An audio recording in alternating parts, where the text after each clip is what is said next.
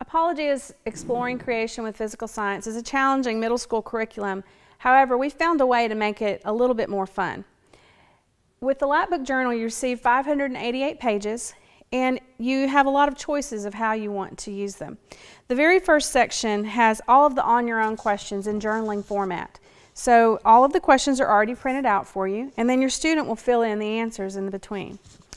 The next section of the book is the study guide questions, and these are the questions that your student will use to prepare for the test.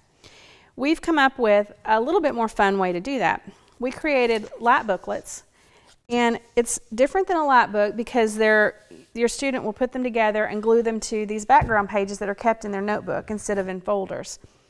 And so your student will cut them out and assemble them, and then as your student wants to go back and study for the test, you can flip back through those booklets.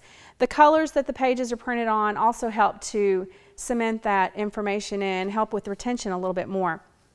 The next section is the lab reports, and all of the labs in the book already have your supplies, introduction, and procedure for you. Well, what we've done is we've printed them to have that exact information already there for you.